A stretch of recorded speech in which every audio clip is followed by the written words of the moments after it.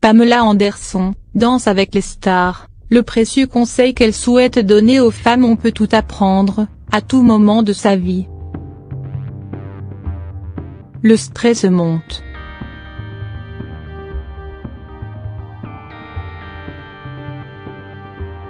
Ce samedi 29 septembre, l'émission Danse avec les stars débutera sur TF1 pour une neuvième saison.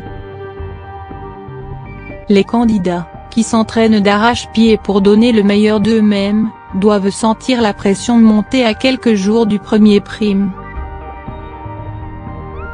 C'est notamment le cas d'Iris Mittener, de Basile Boli, de Carla Ginola ou encore de Pamela Anderson.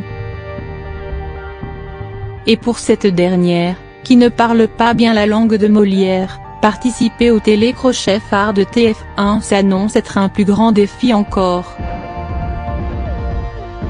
Mon partenaire a un double travail avec moi, il doit m'enseigner le français et la danse a confié Pamela Anderson au micro de Jérôme Vermelin sur Lucie.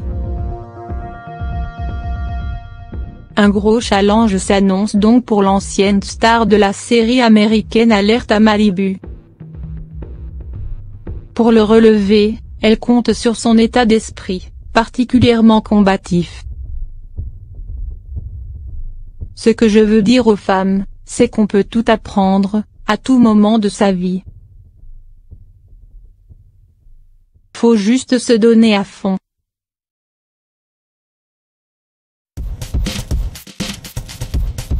Danser, c'est tellement romantique, c'est un vrai challenge ça nourrit mon âme et ça me donne de l'énergie pour défendre des causes comme la protection des animaux.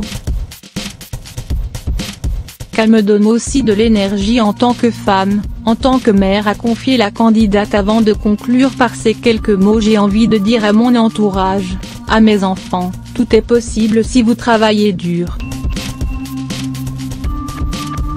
Participer à Danse avec les stars n'est pas le premier défi que doit relever la star.